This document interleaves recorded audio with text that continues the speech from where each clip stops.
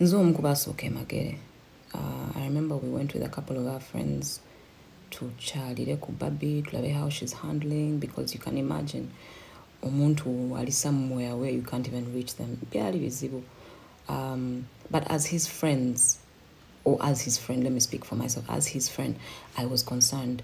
And that concern had nothing to do with his political beliefs or mine okay? Naye nga mukwano gwange nga muganda wange nali naye i wanted to know that he's fine. And good enough naavaayo bintu naawona nasigala nga tambuza obulamu bwe as a politician until today. Bobi wine omu ku bantu bensinga okusanyukira ng'afunye milestone.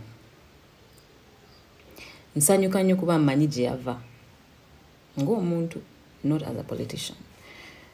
Nsanyuka nnyo okulaba ng'afunye byafunye because omwami oyo he believes in himself. Like he just told himself i'm going to make it and he did. So based on where he came from and where he is right now you have to respect it. Am i happy for him? Absolutely. Am i happy to see him succeed and to see his family flourish? Absolutely. Do i have the same political beliefs as he does? No ate ekyo buli omu alina eddembe lye. Just because ndi mukwano gwa bobby kyali tekitegeeza nti nina okgenda and join his campaign his political campaign. Nange ndi waddembe okukola nze byenzikiririzaamu ng'omuntu kuba we are different. Bwe mugamba mbu lwaki tojoininga struggle? I think that's not fair because oba tompadde nze chance nange kukola byange nze byembirivingamu ate ekyo tekitegeeza nti ye byakola bibi oba tebirina lugendo oba tebirina papas no. Just kitegeeza nti byakola birala nange ebyenkola birala but weare friends and we wish each other well. I'm talking about this because i've seen people over the years not just this weekend not just this year nga banvuma naye nga banvumira mu linnya lya bobby you know? Nga bampita traitor i even saw someone calling me uh, uh, specios like ngolusi binsesa i'm like oh, whatever man. Nga out of respect for bobby nga mbiignoring nga saagala kwega kubifuula nsonga. So i used to ignore it. But maybe that backdrop i hope it helps you okumanya nti bobby wine and i tetulina buzibu with each other we talk actually.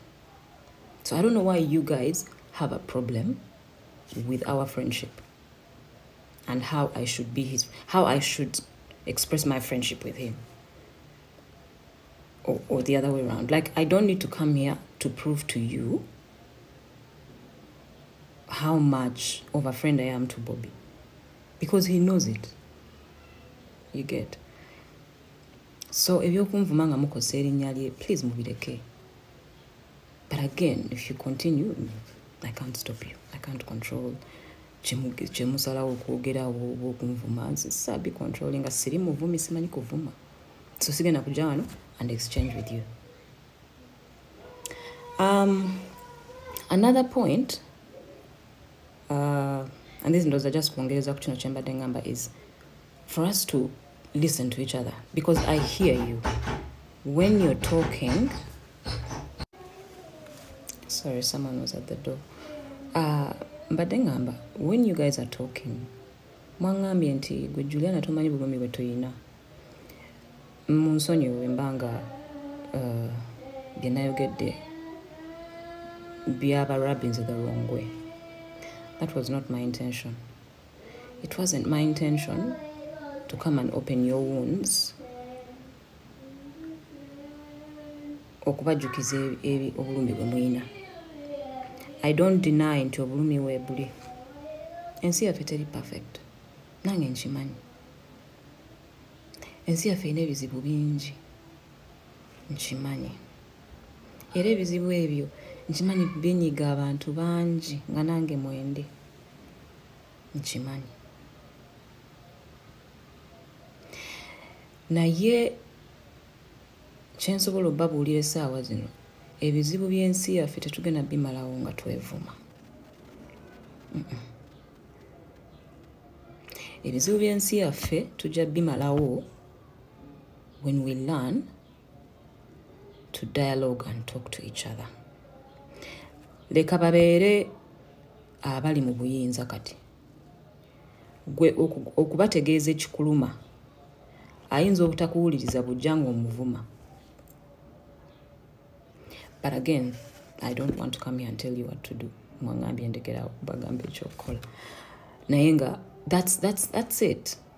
Like nze naawe tuyinza okuba nga tugwa ku political sides za njawulo but at the end of the day tuli bannauganda and we love this country fenna.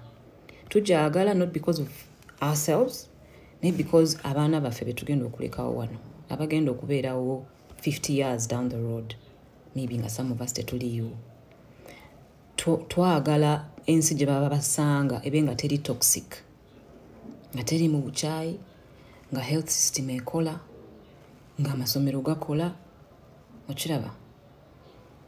So it is my prayer nti n'abali mu buyinza nabo bawulira ebintu bino ebiruma abantu babeko bye bakyusa kubanga nze sikola mu gavumenti. Nze i may be affiliated to them but i don't have the power to change anything. I have the power to speak to them when i can when i'm given the opportunity. But the, the, the, the decision making is for the person who sits in the office. Say for example if it's the healthcare system the ministry of health yebeina okutereeza embeera. Kati mpulira omwana wange bwe yafa rest his soul. Partly why he passed was because amalwaliro gaffe mu uganda they couldn't cater for his needs at that time. Nali nnina okuyiiya to try and save him. Nenkwata omwana wange nemutwala e kenya. Mwemulowooza tekinnuma buli lunaku nti i couldn't save my son. Of course ne katonda comes into play. Katonda bwatyo bwe yasalawo maybe his time yali etuuse but i also know nti bwe nali ŋŋenda e kenya omusawo wange wano uh, dokita w'omwana wange ensonga gye yampa.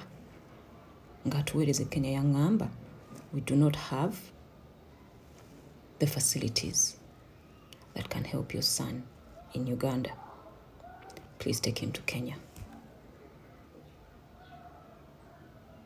I'm not going to go into the pain i have as a parent. You know i'm not going to do that because